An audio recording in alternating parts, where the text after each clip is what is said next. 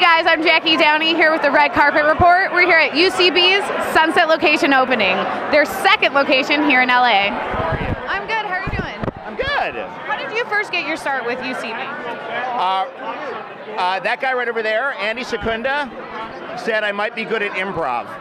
That guy right over there, yeah, yeah, you. Come here. Come here.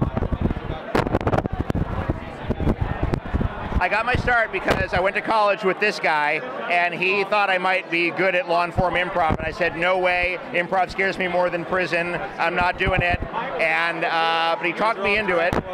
And uh, and in 1998, he was already well established at the New York Theater. It wasn't even a theater then. We were renting that weird space on 17. Oh, yeah. No, like the the Solo Solo Arts. Arts. Yes. The elevator was always out. We walked up five flights of stairs, and uh, in the snow. And uh, yeah, Secunda. Uh, on the stairs. uh, and we uh, Secunda suggested I, I start taking classes, and uh, and I did, and it, it worked out. And, and look at us, we make a living now. We Yeah. make a living doing this. You're writing on the Goldbergs. That's right. Andrew's writing on the Goldbergs, and I, I pieced together a weird kind of existence. I can't complain. Well, Big Bang Theory. That, heard of um, Kaley just got a star on the Walk of Fame this week.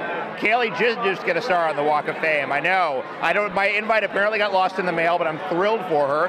And when I see her next week, because I'm going back to the show, I will tell her uh, that I'm. Uh, You painted your own star. On the I painted my own star. It's right next to Reagan's. Sort of And- star. yeah, yeah. I haven't seen this guy in months, man. I have not seen this guy in months. My question for you guys is how do you hope this is going to help the new LA community? Because it's such a great location with the cafeteria, the editing bays, and they always say how hard it is to break into comedy in LA. How do you help?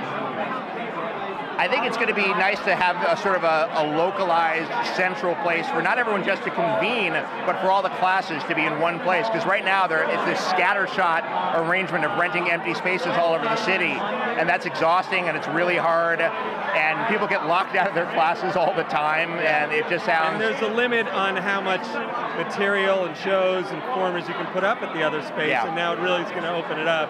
Because the spirit of the original theater really was the weird side shows that won't go up anywhere else. Basically, like the ideas of like I have this kind of half-baked idea where maybe we're all robots and then we improvise, and that was a show for like three years. Right. and and that spirit will hopefully come back now that space isn't at such a premium.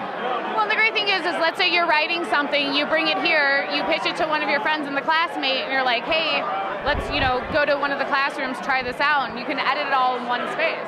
Right. That is the hope. That is the hope is that everything can be written, shot, and edited here, and uh, and yeah, hopefully some some magic will be made. Well, thank you guys so much. I hope you enjoy the night. Oh, thank you. Yeah, You too. thank Thanks, you. Jaci. And that's it tonight here at UCB's Sunset Opening. I can't wait to see ASSSSCAT and see what they're bringing for us.